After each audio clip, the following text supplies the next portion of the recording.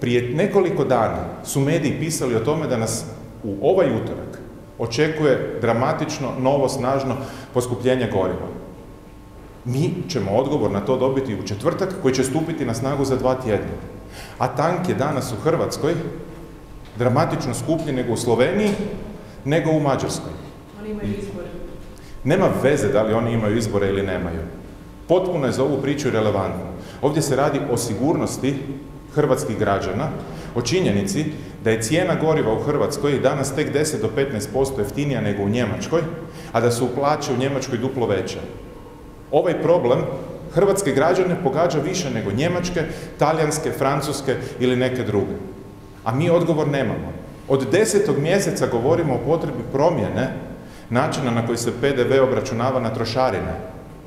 Kako bi i vlada podnijela teret situacije, a što se događa? Ne reagira jer se zbog situacije u Ukrajini, zbog rata, zbog straha ljudi, proračun puni bolje nego prije godinu dana.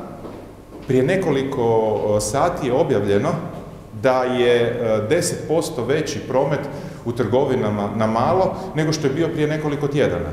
Što to znači? Veći promet, više PDV-a. Pa dajte vratite nešto od toga građanima da građani mogu živjeti barem koliko toliko normalno. To je poruka vladi, to je ono čime bi se vlada trebala baviti, a nažalost zbog afera koje ima ne.